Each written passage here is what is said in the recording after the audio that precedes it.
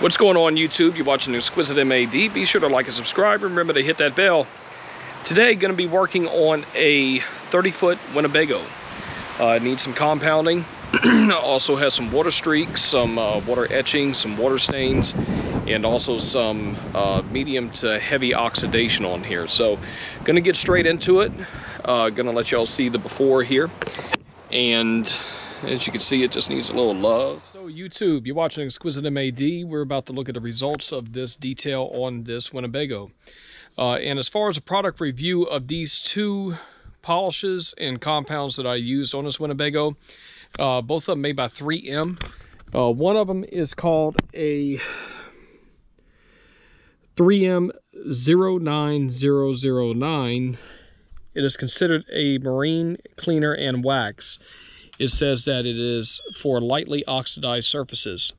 Now, on this one, this one runs about $26, $27. This one here runs about 50 to $70 for the size here, which is one quart.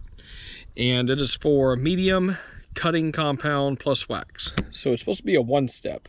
It's supposed to be easy on and ease of use. Now, looking at the results of this, did it turn out good? Well, it did bring back the shine. It did bring back a little bit of reflection in this gel coat.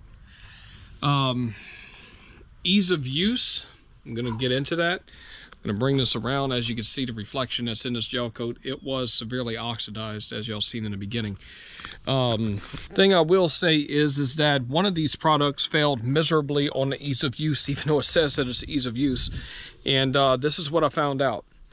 Okay, so this product here, even though that it says that it's a medium cutting compound, and it says works great on boats, RVs, and industrial gel coat, okay? And it says stay wet longer. Okay, so easier cleanup, use less, easier cleanup. That, in my experience, is a lie. Um, I used a lot more product and what wound up happening was I was able to work in exactly a one foot by one foot area and the product did not spread. It did not work. It was not able to there was no hang time. It dried out. And uh, then on top of that something that I noticed was is that it ate up two pads. And uh, on this one side. So I gave it fair fair um, chance of working now, I went through about that much right there, a product on that side. And um, then I switched over to this one. It's a cheaper product. It's supposed to be for a lightly oxidized uh, gel coat. The beautiful thing about this is, is that I still have about that much left. I actually did the entire back, and I'm gonna work, walk with y'all. I'm about to show y'all. I did the entire back. And again, this is my opinion. This is from my use and uh, from from my personal experience with these products. So uh, you could try them, be my guest, but take it from me and my experience, uh, they're not really that great. If you are a novice and you're looking at doing a project on your own and you're a do-it-yourselfer and you're looking at taking on a project and you don't want to hire anyone and you don't have the budget to pay anybody, stay away from this product here. Stay away from it. It's awful. Um, you will guaranteed without any experience, you will give up the project and you will call someone. And um, this one here, it is comparable to Meguiar's flagship um, for boats, flagship wax, and uh, it's also a cleaner in one. This is comparable to that. Gel coat is always hard to work with anyway, especially if you let it go and it gets too oxidized.